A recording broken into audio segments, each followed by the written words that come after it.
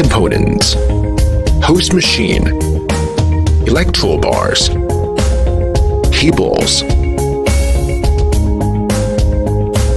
Step 1 Cabling and line tests. 1. Cabling in a straight line in a specified area. Fix the electro bars and connect with the required ports of cables. Keep stable contacts between cable and corresponding electrode and guarantee good ground connection of all electrodes. 2.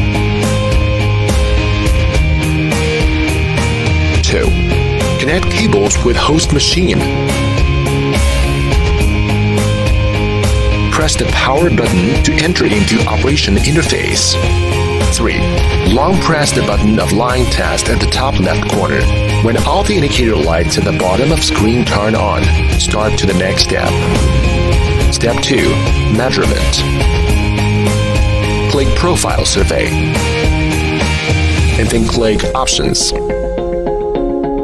Set the line, start point, points, and depth to be measured. After setting the parameters, click OK and then click Start to start collecting data.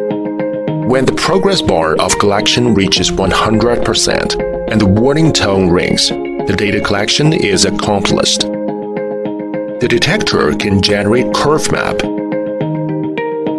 profile map, and 3D map, so each can be selected as needed. Click Automatic Analysis so the detector will assist you to analyze the abnormal measuring point. If another line is needed for measurement, change the line number to 2 and operation steps are same. Additional instructions. The insert place of the third electro bar is point 1 in map. The insert place of the fourth electro bar is point 2 in map and the rest can be concluded in the same way. Notice 1.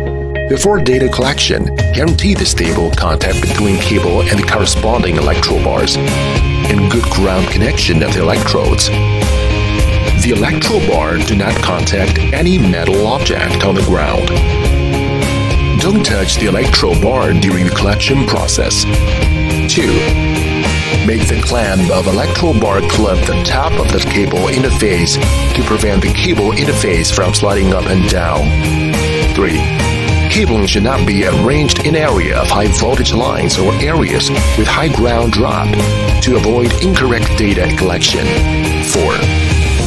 If the indicator line is not working during the line test, please check whether the cable interface well contacts with electro bar. 5. Do not use the detector in extreme weather or environment.